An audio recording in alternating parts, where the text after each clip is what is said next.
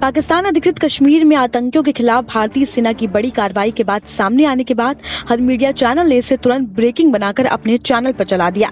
सबसे तेज होने की होड़ में हर मीडिया चैनल ने एक बार फिर साबित कर दिया कि दर्शकों को दिखाई जा रही उनकी ब्रेकिंग न्यूज़ किसी प्रमाणिक स्रोत पर आधारित नहीं होती, बल्कि भेड़चाल का ही नतीजा होती है। आज लगभग हर चैनल और न्यूज़ वेबसाइट पर इतनी बड़ी खबर की प्राथमिकता जांचे बिना बताया गया कि भारतीय सेना ने पीओके में आतंकियों के लॉन्च पैड पर एयर स्ट्राइक करते हुए उसे तबाह कर दिया। खबरों में यह भी कहा गया कि इससे पहले खुफिया एजेंसी लगातार जानकारी दे रही थी कि पीओके में आतंकियों का जमावड़ा बढ़ रहा है। कम से कम 350 आतंकी सरहद पार से भारत में घुसपैठ करने की कोशिश में लगे हुए हैं। चैनलों ने कहा कि आतंकियों को सबक सिखाने के लिए भारतीय सुरक्षा बल ने ये कार्यवाही की है।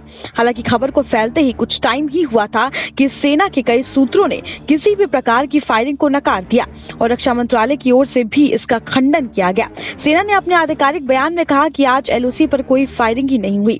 ट्विटर पर अभी भी कई लोग ऐसे हैं जो इस झूठ को फैलाने में लगे हैं और कई लोग ऐसे हैं जो सच्चाई जानने के बाद अब इसे डिलीट कर रहे हैं।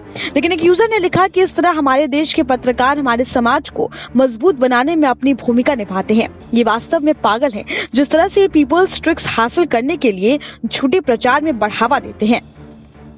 यहाँ तक कि वे सशस्त्र बलों की गरिमा बनाए रखने के लिए परवाह भी नहीं करते। शर्म की बात है। वही एक यूज़र ने लिखा कि मुझे लगता है कि हमारे पत्रकार भारतीय सेना के झंडे से ज़्यादा तेज है।